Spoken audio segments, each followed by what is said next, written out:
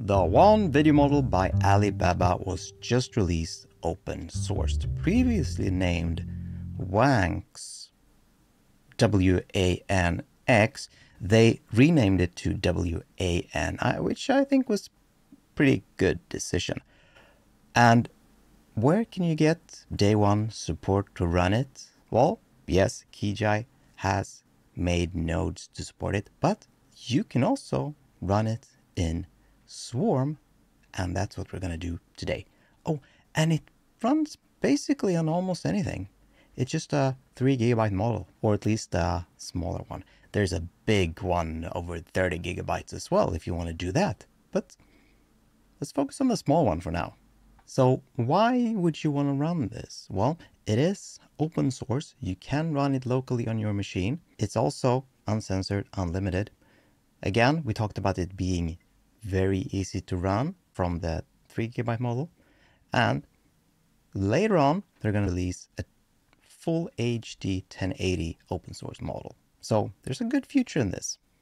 But let me show you how to get it running. Now, if you don't have Swarm, just head over to Swarm's GitHub. There is a very fancy file here. So find install on Windows, download this bat file and run it through. And then you're going to have Swarm installed. It's going to look something like this. What you need to do is go to the Hugging Face link, also in the description, and download this text to video 1.3b model. So this is 2.84 gigabytes, right? Now there are other. You have the image to video models. These are a whopping 32.8 gigabytes. And you have the 14b text to video model, which is 28 plus gigabytes. So let's start with the small one, right? Three gigabytes. You're going to download that. You're going to place it into your models and then you're going to find diffusion models and then drop that right in there. If you're using Comfy, it's basically the same thing. You're just going to drop it in the same place, but you need to download the, the Kijai wrappers, the custom node basically. But for Swarm, it is, well, pre-installed, so to speak. Once you've started your Swarm and, and uh, can see your models here, and if you can't, you just press a little refresh here. What you're going to do is you got to load this model. So by selecting this, or down here, let's say we have none here, for example, you see there's no text to video here. But if you select this model, text to video will pop up here. You will be able to set your frame. So this is how many frames you want to run. Currently set this to 90. If you want to know the specifics, there is some parameters in the Swarm official documents. And here it says frame count. You can select pretty freely. Different values work fine. If unspecified, will default to 49, 3 seconds use 17 for 1 second, 33 for 2, 49 for 3, 65 for 4, 81 for 5. This model has been trained on 16 FPS, so we're going to set this to 16. You can change your video format here, whatever file you want it in. Here I have an MP4.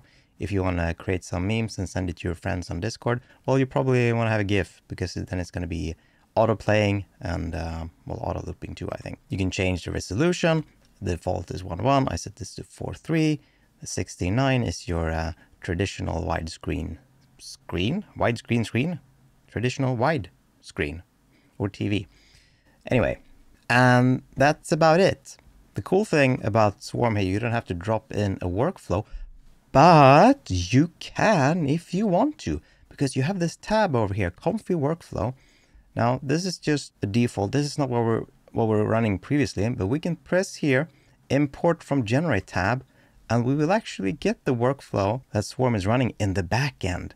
So we're loading the one model. We have the prompt, so we didn't see me set the prompt, but I have the prompt here, catwalking, and then I got one of those negative uh, filler word prompts. And now you can see here, we have the positive prompt, the negative prompt. We're loading a clip. You don't have to worry about this because Swarm auto downloads it for you, even the VAE, this one VAE. The size is set, and as you can see, we set length 89, and that is the same as our, well, we set 90 here, so it's kind of fixing that for us. And all the steps that we set in the generate tab, which we didn't really set, uh, are defaulted here, and the same, the video format that we actually set to MP4, that is set here. We set FPS to 16. That is also in the workflow. So this is the backend. So Swarm runs on a comfy backend but you get this fancy looking UI, which is really cool. So whenever you generate this, this is uh, a cat walking. I have a couple here. Now, obviously this is a 3B model. No, the 1.4B model.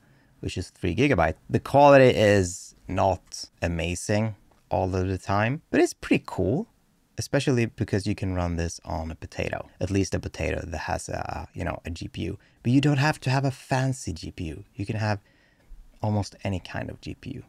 Now this renders for me in a few minutes, but um, so if you're on a very low end system, yes, it will take some time, but it will at least run. So we got some cats here. Some of them are looking okay. This one's warping here by, by the end. Oh, there we go. Uh, we also did some tests here on a woman dancing and this is kind of kind of mushy, especially in the face. And this one here, I mean, it's it's it's something, right? But you can get some cool generations out of this, and it's a great start, especially on low-end systems. So I mean, that's basically it. It's super easy to run in Swarm. It was just this.